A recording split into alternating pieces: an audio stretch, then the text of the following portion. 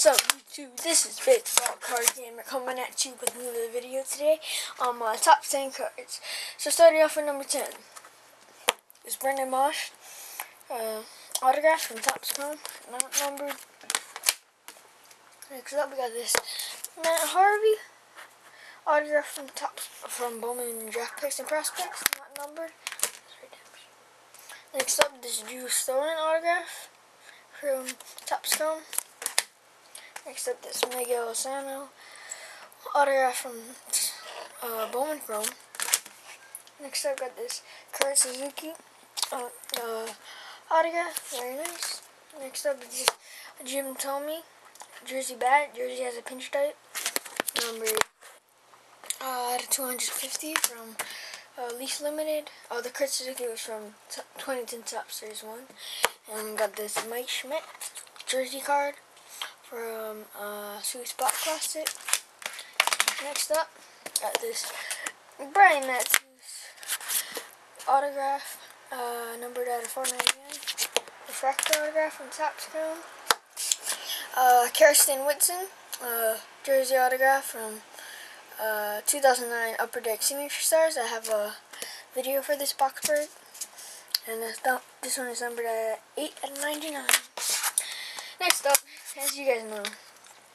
Second is this David Wright, Evan Longoria, uh, dual All Star Game festivity jerseys, numbered, numbered 11 out of 25. That is very sick. And next up, we got this Griffey Jr. patch, and I'm going to need to take it out of this case because it's just a very, very sweet card in person. Ooh, this is a very nice card. Uh, yeah, anyways. This is the Ken Griffey Jr. patch from Upper Deck Upper Deck 2010 Series 1 Baseball. This is very, very sick. It's the bottom of the S of uh, the Seattle Mariners logo. But I'm just gonna zoom in for you guys. I don't know how many breaks are in this, but this is just a sick, sick patch. You see some stitching down, down here and over there. And this is a very nice one. Number 16 out of 25. So thanks, thanks for watching guys. This is my top 10 cards, but be on the lookout because uh, I'm thinking of getting a box uh, this weekend.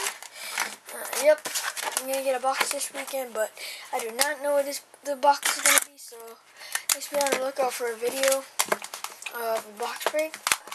Uh, most likely it's to be Topps uh, Series 2, 2011. But I don't know if my card shop's going to have it.